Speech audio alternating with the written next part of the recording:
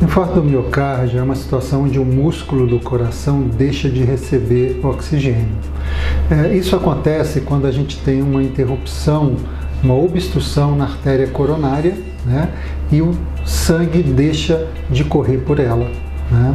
E aí você tem uma privação, ou seja, uma ausência de oxigênio chegando no músculo do coração. Quando é, é, é essa obstrução é total e interrompe permanentemente o fluxo de sangue, o músculo do, coração então morre. Né? Isso é o que a gente chama de infarto do miocárdio.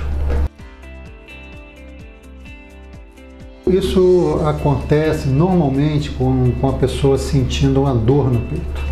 Né? O aviso é uma dor no peito forte, normalmente é, ela é como se fosse um peso oprimindo né, o, o peito da pessoa, pode correr para o lado esquerdo do corpo, né, para o braço, às vezes corre para o queixo, né, às vezes corre também para a região do estômago, né, e pode vir associado com suor, né, sudorese, às vezes com enjoo, né, e normalmente é uma dor muito forte. A pessoa tem uma sensação de, às vezes, até de morte né, quando tem essa dor.